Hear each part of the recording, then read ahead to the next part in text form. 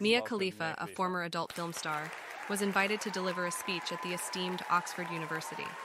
The invitation has generated diverse reactions, with some expressing doubts about her credibility as a speaker, while others view her as a role model for young women. Khalifa, who currently works as a sports commentator, has publicly spoken about the risks associated with the adult film industry and expressed regret over her involvement. She has also become a vocal advocate for women's rights. The invitation extended to her to speak at Oxford has received mixed responses. Some individuals have commended her for her bravery and openness in sharing her experiences. On the other hand, some have criticized her past profession in the adult film industry.